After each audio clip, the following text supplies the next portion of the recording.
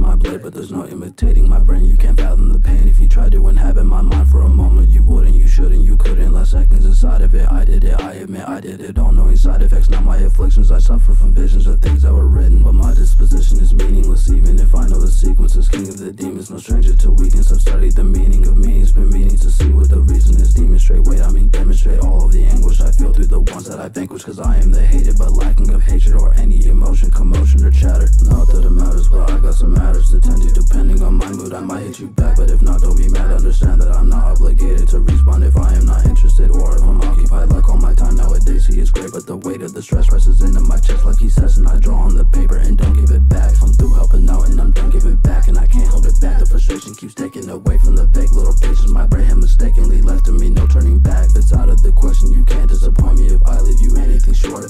Expectancy. I am the reaper. I only bring death. I don't even know what else you'd ever expect of me.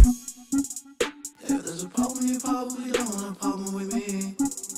13 the Reaper releasing the misery of the obscene. If there's a problem, you probably don't want a problem with me. 13 the Reaper releasing the misery of the obscene. Laughing and laughing and laughing and laughing around you with such repetition, I just brought it back.